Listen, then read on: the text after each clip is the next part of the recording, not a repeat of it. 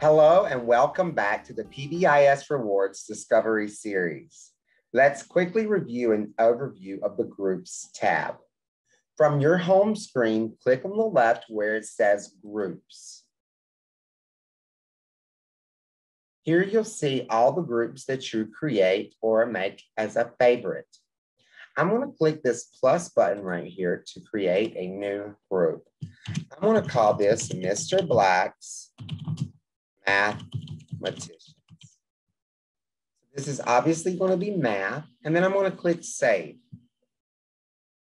On the next screen, we're going to add students to our group.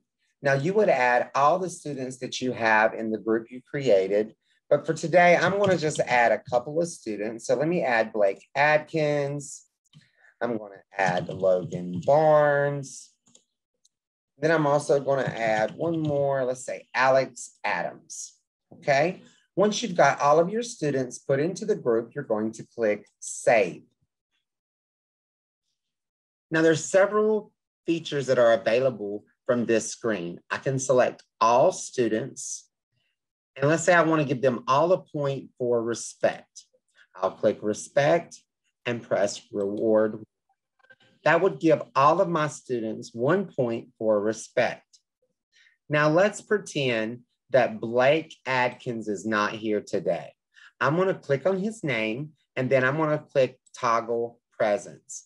As you can see, he has been grayed out and it says not present.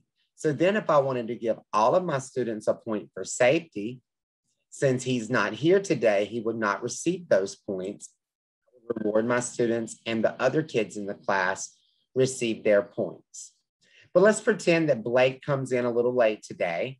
I can click on his name, click toggle presence, and as you can see, he is now present for class once again. Another option from this screen, I can select all of my students, come up here to the top, click on the random button, and it would randomly choose a kid for me. So let's say they all have their hands up and you don't know who to choose. This is how we can let the system choose for us. Now let's go back to this groups page here.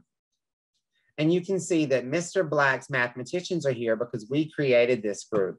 But let's say I wanted to add the band class because I help with them a lot. Um, I can come to all user groups, find Mr. E's band class. I can click this star right here. And in the future, I will always see Mr. E's band class going um, up here in this group with mine, okay? Thank you for joining us today to review an overview of the Groups tab. Please come back next time to learn more about group features from our Discovery series.